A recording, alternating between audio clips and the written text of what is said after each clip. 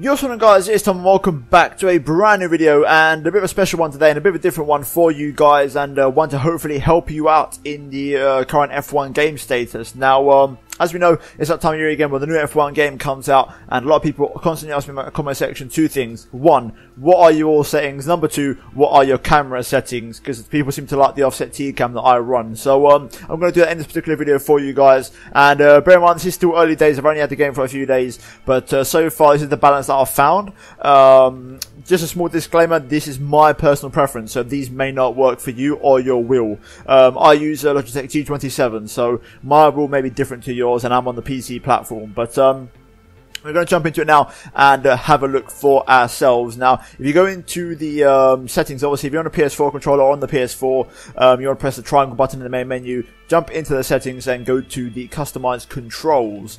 Now, uh, in terms of the control schemes, you want to jump into there and you'll see that you'll have the um, one of the one of the, one of the default ones. In, theory, you should have your wheel plugged in, which is this one here, the Logitech G27. But I've already made my custom, which is down here on the custom control schemes tab. So we're going to jump into this one here, which is the one that I've made, and uh, have a look at it. So we're going to click edit and have a look to see what we have now. Um, I have rearranged a few buttons. I don't know if you guys want to know them or not, but uh, I'll just quickly mention them anyway. So essentially, I've changed the uh, next camera button. So instead of being it on the wheel on the G27, uh, I've switched it to being the triangle button, um, just to try and get it out of the way and get it off the wheel. Because instead, I like to use the um, the button that is next camera on the steering wheel on the G27.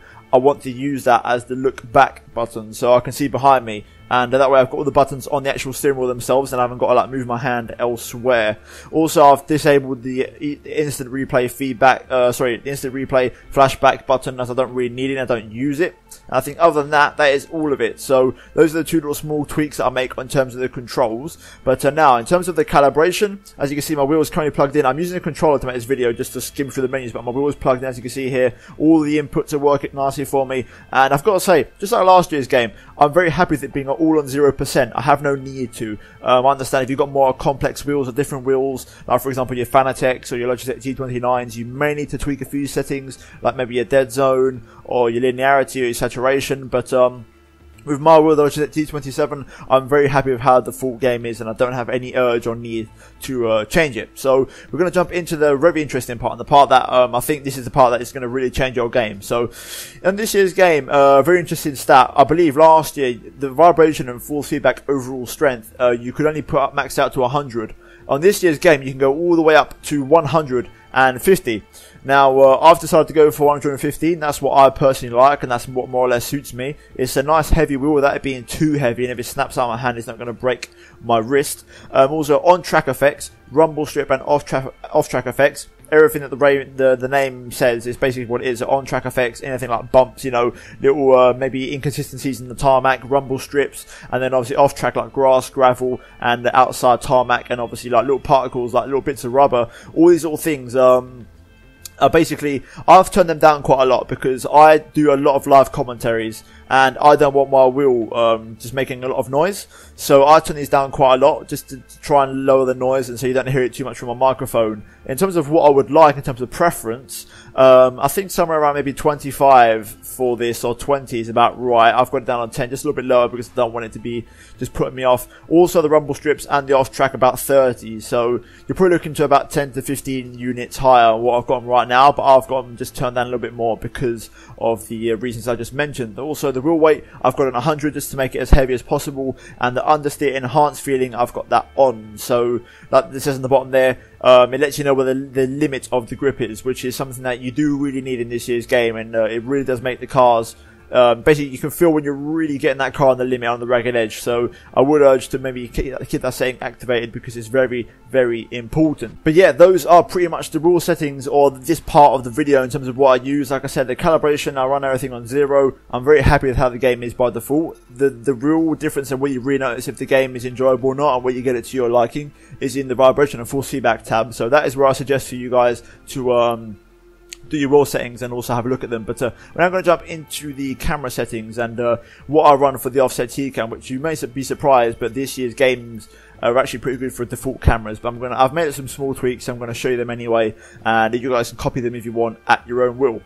So I got a lot of compliments on my um, Ferrari preview career mode in terms of the camera settings that I use. So we're going to show you now. So I'm just going to quickly pause it here. Like I said, I'm on the controller. So um, we're going to jump into the preferences tab and uh, go down to camera options. Now within this setting, as you, I'm currently on the TV pod offset, so wherever you're on, that's what it's going to be on. Um, in terms of the camera settings, there's not much I've changed. However, there's one thing I would urge you to do to really uh, make it better for you, and something that I personally like quite a lot, and that's something that's very realistic. Uh, turn the camera shake off completely because if you've got it on, it's just basically that arcadey sort of camera shake, which doesn't exist in real life when you watch F1 through the TV on the, through the TV. So um, I would urge you to turn off the camera shake because um, that makes a huge difference. Also, the mirror angle that's custom to whatever car you're driving. I'm driving the Force India, so I've got it set to 015. I'm just showcasing the Ferrari in this particular video.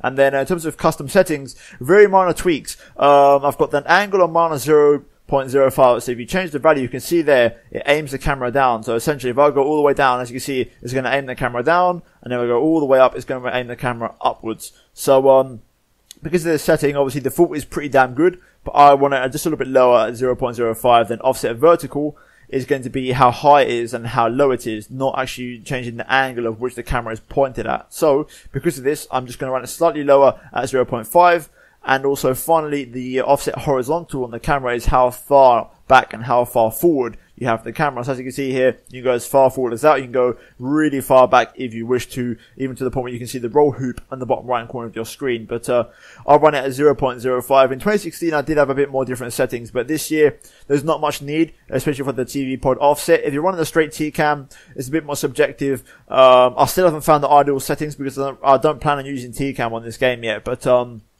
I think if I were to do something on the fly right now, if I put it all back to default for my liking of what I like on, the, on, on, my games, um, I think I'd definitely have the angle turned down a bit, and also the field of view would have to go up a little bit. I think, um, possibly uh, in terms of the height, I think I'd probably go a bit higher, maybe around 25. There, increase the angle even more to maybe about 50, and I think that would be something that I'd be happy with. Also, by the way, just to note, um, camera shake off again. Uh, let me show you here on the TV pod normal camera shake off, and if you're running the normal TV pod, also turn off the camera movement. Um, on the offset, you don't have the option to, but turn off both of these settings if you're running a T-cam because it's going to make a huge difference. As I'll showcase now, um, we're going to quickly change camera here. So let me find the button for it. There we go, because I'm on the controller. So we're going to switch cameras. So this is something that I would run on the T-cam, something like this.